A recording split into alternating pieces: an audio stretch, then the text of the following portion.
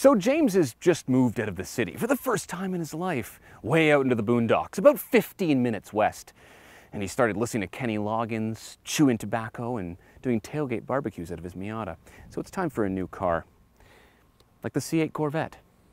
Mid-engined, low-slung, a sports car. Except no, he can't have that, because some of you have noted in the comments section that he has a testosterone deficiency, so clearly he needs to compensate with the 840 horsepower Dodge Demon.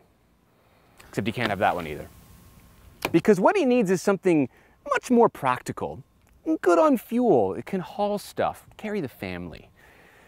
Like the Shelby F-150 Super Snake, 770 horsepower, supercharged. It's perfect. Assuming it fits in his garage. Oi! It might fit. Look at that!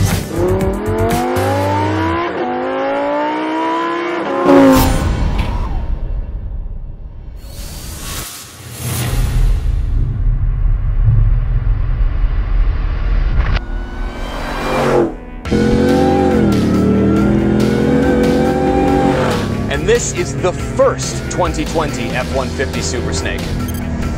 This is a big mother trucker.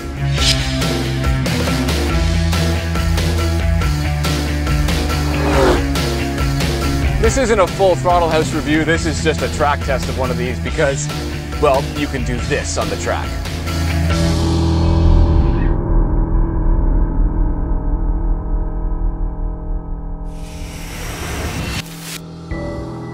Find a snake in your car and you're gonna have a bad day.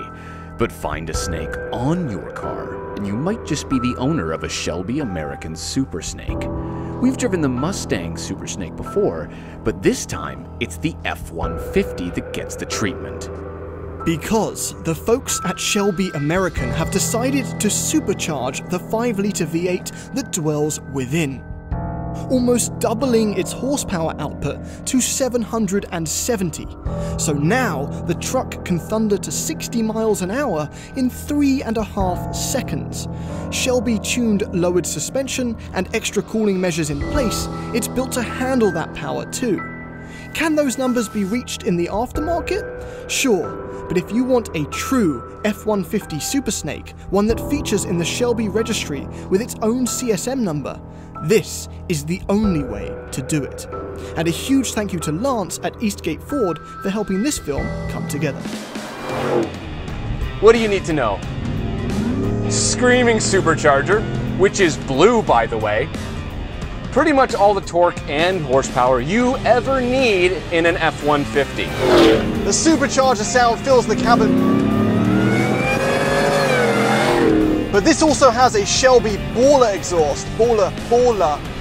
We've had experience with this before. It didn't go well. Ba- a baller. A, bull, oh, a baller. Not a bowler. a baller. When you say borla and baller, that's the same word. Baller, baller, yeah. Yeah, in the cabin,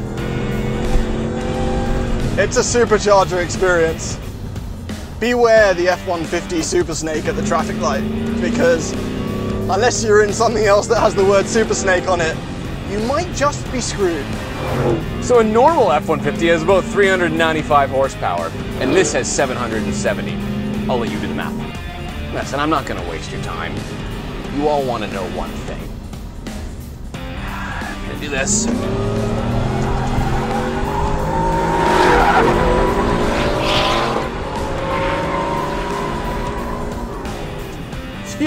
Can. Why can I do that in an F-150?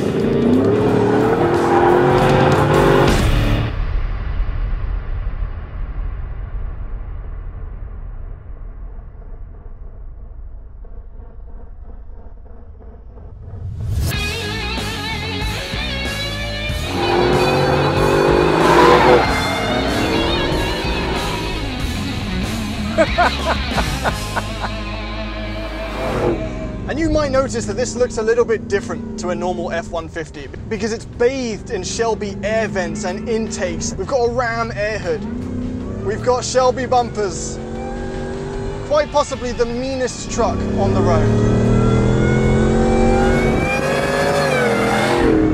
That is quick. I'll be honest, there are some truck motions. You know, there's some disadvantage to being this high off the ground. We've got a solid rear axle here, so when I take a shot, corner, ah, you know what, handled it so well.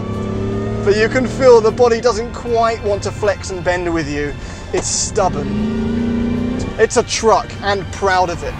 But if you really want to get around that corner in, in a slightly mystical way, I was watching Thomas being an absolute maniac earlier. So I'm, I feel like he's found a creative way to corner this. Here's the most surprising thing for me, though, is that I've been chucking this thing into corners in a way that you just shouldn't. You shouldn't be able to do in a pickup truck. Not one that weighs over 5,000 pounds. Even the brakes are fantastic. You're talking about stopping something that weighs more than my house. Which, by the way, is 15 minutes west of Toronto now. I don't know if I told you that. See, Shelby doesn't just tune the engine, they tune the suspension and everything else, and this one's actually been lowered even a little bit more. So for a truck, it handles well. I can't believe I said that sentence. It handles well. And if you're looking for a Dodge product instead, they don't have anything that takes on a Super Snake right now. Not an F-150. Actually, since we filmed this only days ago, Ram has announced the 2021 TRX Hellcat powered pickup truck. What a drag race that could be. Ah, 15 minutes west of Toronto, is that enough to want one of these? I want one of these. Not cheap though, 140 grand Canadian. That's up there for a truck. But the fact that it has this performance, this power, this level of occasion with a Carroll Shelby signature in the dash and knowing it's number one, which is very important in the Shelby registry, that gives it some value. And James has told you about the outside of the car, but it's the inside of the car that's cool for me. I, it's just Shelby everywhere. There's my 0001 plaque right there. And there's a massive Shelby F-150 770 horsepower badge right there on the center. It's so cool. I will say though, among all the carbon fiber and the very cool little Carroll Shelby in the gauge cluster right there, the build quality isn't really that good. Ah, That's more Ford's fault than Shelby's fault though. So, is this a video that you needed to see? No. Is this a video for a vehicle that you might buy? Probably not. But just look at this.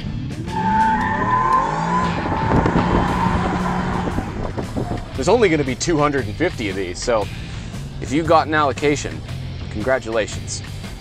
This is a special truck.